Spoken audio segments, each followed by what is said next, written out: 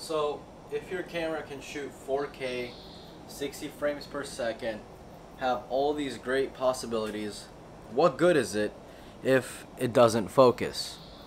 But wait, what if it does? So what you guys just saw is me obviously testing out the facial tracking with the new firmware update 2.3 that came out the May 30th I think and after about two to three battery fulls of testing I think I found the perfect autofocus setting.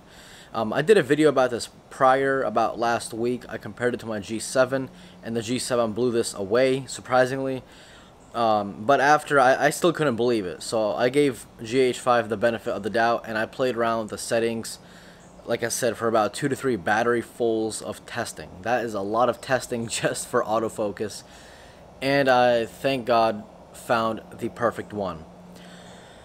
Okay, so let me go ahead and do this test. Let me put some let me put this camera up into the frame, let it focus onto the camera, and then focus on me. Then I'll step out, step back in, and then I'll show you guys what the actual settings are uh, to see if you guys are even interested. But this is the test.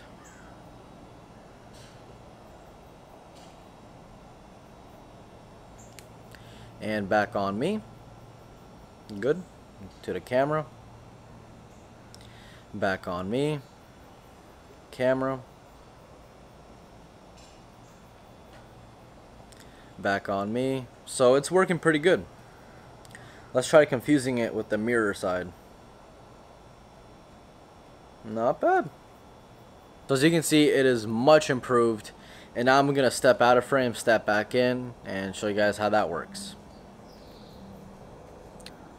Okay, so now it's obviously focused over there somewhere. And I'm just to step back into frame. And see how quick it recognizes my face and uh, locks onto it. Again, this is low light testing, so um, it's not going to be uh, performing as well as daytime, obviously. So let's just try that again. It caught on pretty quick. Not bad. Bam! Did it work? Yeah. It's catching on pretty quick. Yeah, again, this is low light, and um, it is going pretty well. Let me try uh, backing up.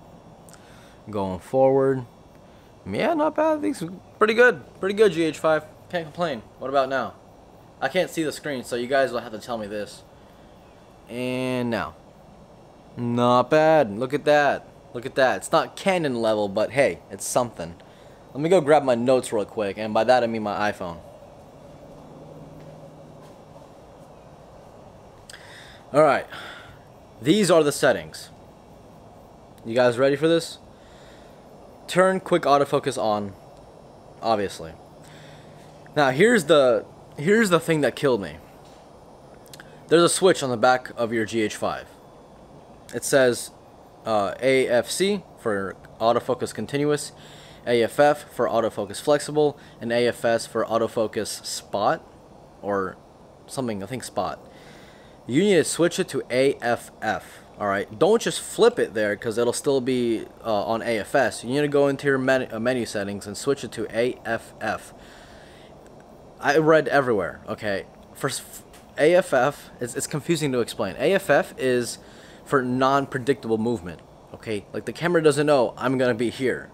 That's why it's always scanning the surrounding areas to make sure if I do go there, the autofocus can catch up. AFC, which I thought that it was supposed to be using the whole time, AFC is similar to AFF, but it is uh, more predictable. For example, um, if you're uh, you know filming cars race, if the, if the camera notices you're going in one direction, it'll scan the area ahead of the subject that is in frame uh, it'll process that area and then when the subject gets there it'll automatically focus already. So that, uh, that it's more predictable that way. Um, vlogging is not predictable. The camera doesn't know what you're gonna do next what object you're gonna bring up in, into the frame. Camera doesn't know that. So AFF the next setting obviously facial tracking. Facial tracking on the GH5 works wonders with 2.3 never had a problem. Even in low light situations I don't even think I've ever uh, lost focus while talking to you guys for these seven minutes. Um, so turn facial tracking on. Now here's the most important thing. Well, second to most important. On your uh, autofocus um, sensitivity settings on movie mode, not not photo mode, but movie mode, turn the settings to plus three for speed and minus one for sensitivity.